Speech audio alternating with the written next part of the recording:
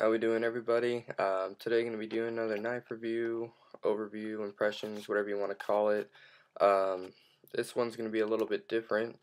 Uh, just going to make a quick side note, if I sound a little bit funny, it's because I'm a little bit sick. Um, I'm actually called into work today, so uh, trying to make, you know, some use of my time. Anyways, so uh, today I got a, uh, not today, but a couple days ago I got a new knife. Um, actually got it in the mail right before I walked out the door, so I did get a chance to carry it at work. Um, perhaps not maybe the best place to carry the specific one. I'll talk more about that later.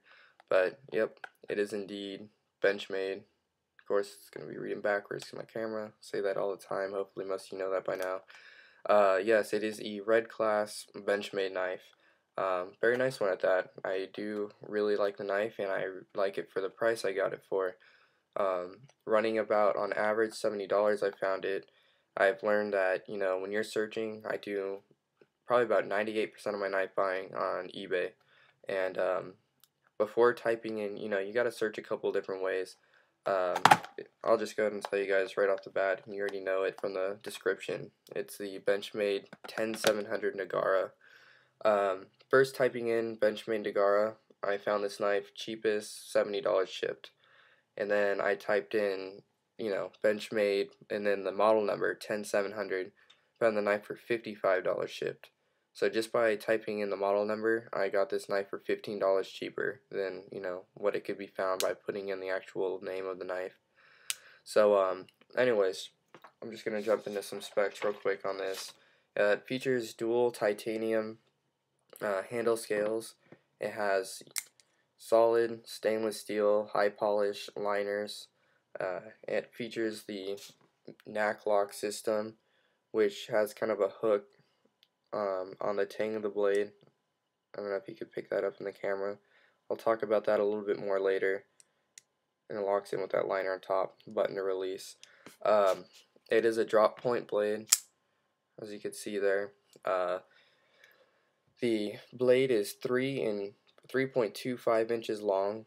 It is the thickness of this blade is 0.12 inches. The overall length of this blade, which is actually fairly long, is 7.5 inches, or 7.5 inches. Close length is 4.25 inches. And the weight of the knife, considering its uh, solid stainless steel liners and uh, titanium handles, it's not too bad. It's 3.3 ounces. Um, as you already saw, it is a red class knife. It uses a 9CR13 blade steel, and uh, it is like a almost a full flat grind. Other than this bit of knife here, it's a full flat grind all the way down to the tip. So it's a good slicer. It was very sharp out of the box. Gonna have to knock the steel a little bit, but you know it is a Chinese-made steel. It's 9CR13, which uh, I've heard from a few sources that it's kind of an equivalent to an OS 8. You know the that type of steel, the OS series. Um, so not amazing. Um, very sharp out of the box. It cuts well because of that sharp point. It's good to cut in first and then kind of you know pull along or whatever. But um, it does get dull fairly easy just from carrying at work for the six hours that I was there. Um, I do need to touch this blade up again. So you know out of the box slices paper no problem. Now it's kind of tearing it a little bit. So blade steel is not the best. Although, I will go ahead and tell you guys right away. Um, I think of this more as a gentleman's folder, and I think the majority of people who own this knife, talk about this knife, know of this knife, consider it more of a gentleman's folder. That being said, though, um, it is very nice. Um, that powder blue coating, I'm just going to have to knock, get that out of the way real quick. I bought this knife brand new. I threw it in my pocket before I went into work. Um, 30 minutes into my shift, I look at the blade scales, and uh, you're not going to be able to really pick it up in the camera because it is fairly minor, but um, maybe you could. Right there, all along the side there, you can see that it was scratched. Um, there's a few other nicks along the thumb opening hole area here. Uh, that nice powder blue finish doesn't last long at all if you're going to be carrying it or if you're going to be in a situation that's, you know, semi-stressful. I work in a restaurant, so it's nothing, you know, too crazy. Yet the powder finish was already scratching off within, you know, 30 minutes of my shift. So if you carry this knife with anything else in your pockets, like keys or, you know, something else, or I don't know honestly how this scratched up. I had this in my back pocket, which was empty, yet the finish was scratched. I don't even know, maybe from my my own nails even. So that's a knock on the knife, and uh, I already said, you know, the blade steel is not the best. So those are the two cons in my opinion. Um, tip tip up carry the knife comes for right side. It is adjustable for left and right tip up carry only. So it does give you that option. The pocket clip is very nice sits well it slides in very smooth with the titanium handles and the, the clip as you can see is high polished same with the blade and the you know liners.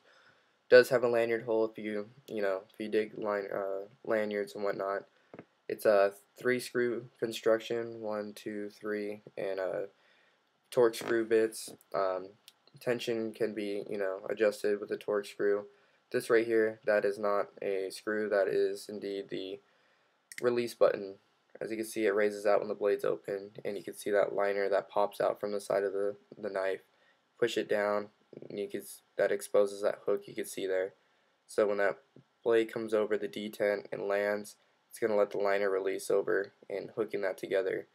Um, I made a kind of a lame little drawing real quick of what the um, NAC system looks like. So you have that button here that you depress and that pushes this um, liner back into the handles which allows that you know hooked blade tang to drop free downwards but if you were to let go of the button and you just open it normally this liner here is going to push out into that um, hooking you know hooking into the blade so uh, that is the NAC lock system kind of like hooks together as you can see there. So just by pressing down that button, it's going to push this liner back into the handle, allowing this, you know, hook to be free and swing back down.